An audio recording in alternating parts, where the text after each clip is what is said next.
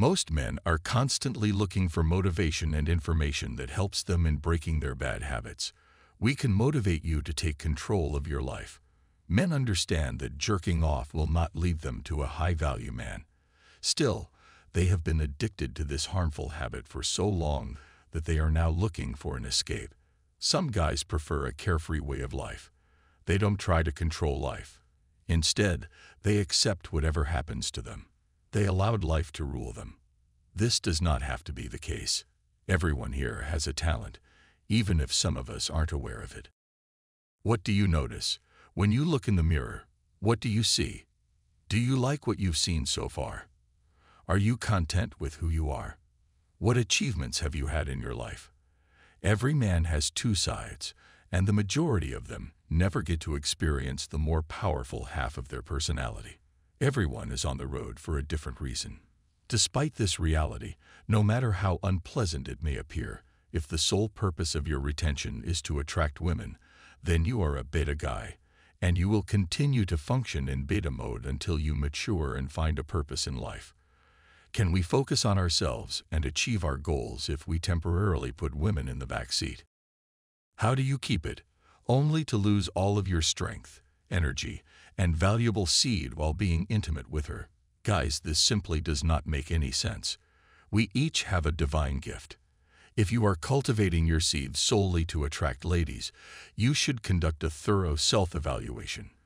What do you truly desire in life? Don't you want a meaningful life? Don't you want to be great? How about achieving great success so that your children and grandchildren can be proud of you and benefit from the legacy you leave behind? That makes seed retention practice even more beneficial, or do you believe that only a select few are fortunate enough to enjoy life's pleasures? Consider your current situation. If you want the best that life has to offer, you can have it. If you work hard enough to keep your divinely given life force and channel it into your career. Stop being distracted by these ladies who have been sent to diminish our glow and light. You are giving up your life force. In exchange for a few minutes of pleasure, you can be a creative force and a seed of greatness.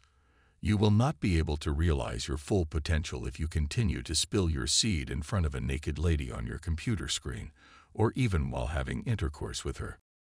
Regardless of how appetizing they appear, the pleasure is fleeting, but it comes at a cost. You're sacrificing your life force, your seed in exchange for a brief moment of pleasure.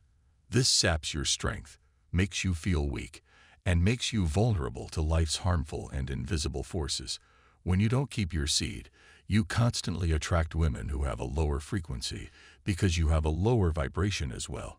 Because they waste all the benefits of their manpower by giving in to lusty urges, and she will share any negative energy she possesses with you throughout the intimate process. This is why, despite their best efforts, so many men fail to achieve anything positive in life. This does not imply that you must choose abstinence for the rest of your life. However, what if we could consciously choose to remain abstinent for some time?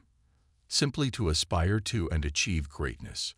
The greatest men in history have given up intimate relations and passion at some point in their lives to achieve their goals.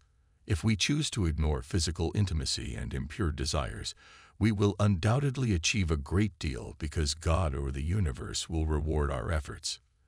Your beta self is luring you into poverty. If you are completely focused on your goal and not thinking about women, your energy will transform instantly. When you repeatedly give in to your desires, you become a slave to them. The law of attraction states that you get what you think about. This is why the rich get richer and the poor get poorer because the rich aren't concerned with a lack of money, whereas the poor can't bring themselves to think about an abundance of it. The same is true for men who can't seem to keep women or attract them in the first place.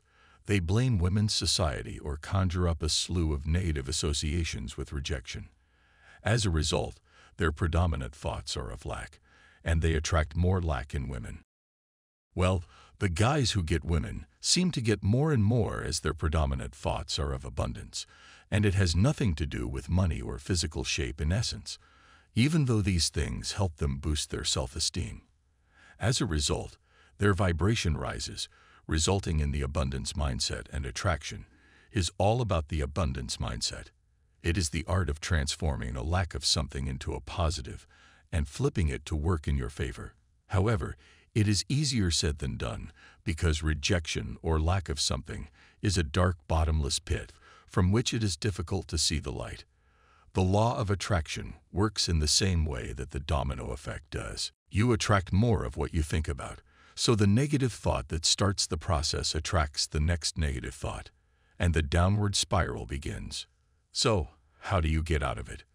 This is where seed retention comes in, as it is an unethical trick to manipulate the law of attraction in your favor. When you commit to retaining seed, the first thing you eliminate is the need for women. As you save your vital force and work on developing yourself, the negative thoughts associated with a lack of women or the pain of a recent breakup fade away. You are still a man, so you will still be attracted to and desire women. But the key difference is that you have moved from needing to want. When we need something, we immediately project the energy of scarcity. For example, I need this woman because I love her so much that I am afraid of losing her. We change it to I like this woman. She is lovely, and I want her, but I am working on myself and retaining seed. So I don't need her if she naturally flows into my vibration. Otherwise, I am abundant in myself. Because you have made a clear desire without the attached parasites of needing and lacking, this shift in perspective will allow the law of attraction to serve more women in your experience. As a result, you are coming from a place of abundance, and women will begin to flow effortlessly into your magnetic field. What if you decided to keep your stick in one place for an extended period to achieve excellent critical success factors? We will be honest with you young men and teenagers. Intercourse is greatly exaggerated. Do not fantasize about it. Do not daydream about it. And do not rush to enjoy it. Rather, focus on improving your job or academic performance. You would think that by the time in your 30s that you would have accomplished a lot financially if you could just go back to the age when you first started jerking off to adult content and had the same retention knowledge that you now have. By channeling your energy into a potentially lucrative career, you might have accumulated a substantial sum of money at a young age. Some of the 20 and 21 year olds are aware of retention and are taking advantage of it. Others are more interested in chasing the bag than pursuing a woman. At such a young age, they are all earning hundreds of thousands of dollars and driving expensive cars. You know you can't control your life. Your life has been in beta mode for far too long, but it's time to give way to your alpha side and let the beast out. It's worth it, guys. The effort would be worthwhile. They say that a word suffices for the wise, but this is more than a word.